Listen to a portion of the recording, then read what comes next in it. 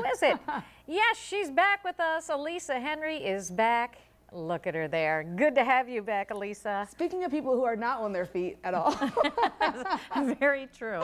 We'll put this on at least one foot for you. we can wear that one foot. So yes, you're I'm doing back. all right? Yes, I'm happy to be, happy to be back. You know, being at home was nice. My mom came to visit, and my yeah. husband's been helping me hand and foot because I can't really hand move around foot, on my literally. foot. Uh -huh. So, right, exactly. I'm off my foot for about six weeks, but I'm able to still, you know, talk to me myself. I even bedazzle my crutches.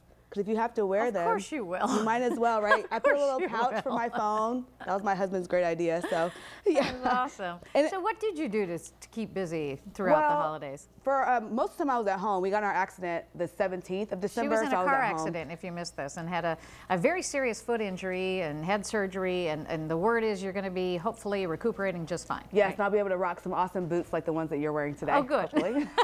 Excellent. But my husband and I we went to Canton. That's where he's from. He's from Northeast Ohio. So we went there. We were with family. My mom, my mom was in town helping me, and then she came with us to Canton. So it was really fun. And one of the things that we did, we played a game. You download it on your phone. It's called Heads Up.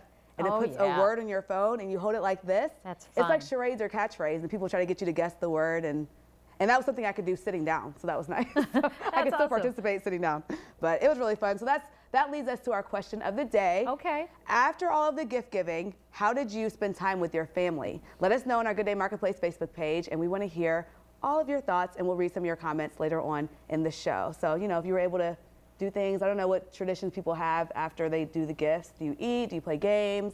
What do you do? Let us know. Do a lot of dishes is what we do. a lot of dishes. You can save that for the next day, right? yeah, exactly. So what's coming up next, though? This so big trend? next, we talked about a big beauty trend that smooths out wrinkles. And I stopped by Timeless Skin Solutions to see how it's done. Wow. And we are back. And now we're giving away those tickets to the Columbus Bride Show.